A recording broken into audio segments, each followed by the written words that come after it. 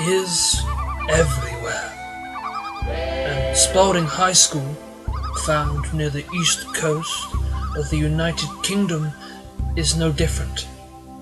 The hunt for love, as well as the protection of it, is an everyday activity for the wild sixth former.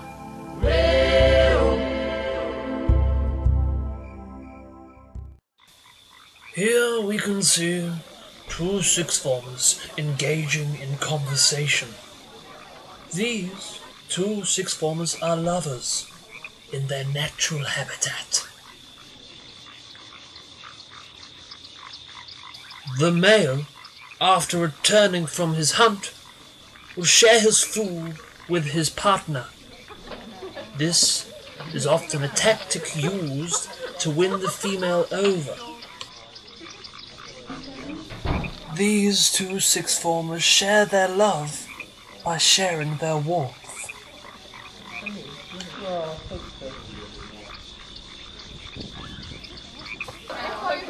This sixth form is employing the method of surrounding himself with females in order to find a suitable partner. And it appears that this male favors that method also.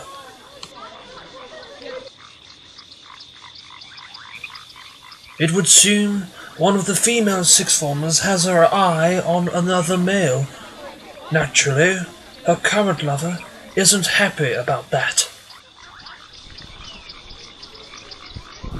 This sixth former is out on a hunt in order to bring something back for a potential partner.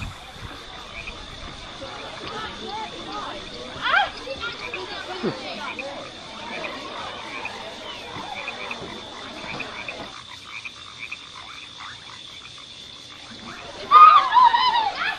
would seem he's unsuccessful.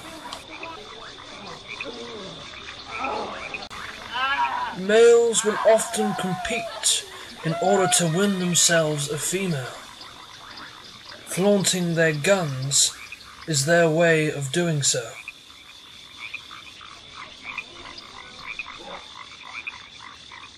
This predatory male is yet to find himself a female. Here we see him limber up before the big challenge. Unsure of the type of approach he's going to use, he gingerly approaches his victim. Perhaps a song will do the trick. I love you, baby, and it's just quite alright. Perhaps you, not. baby, and. Not feeling downhearted, he tries another.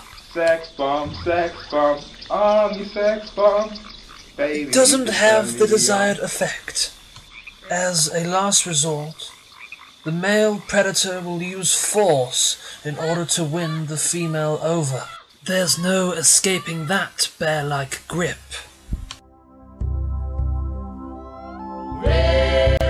As we have seen, love is something not uncommon at Spalding High School be it willing or not. Exposing the private lives of these wild sixth forms can help us reflect on our own lives, making us wonder whether we truly are doing everything we can to be good, loving human beings. As we are, in fact, more similar to these wild creatures than you may think.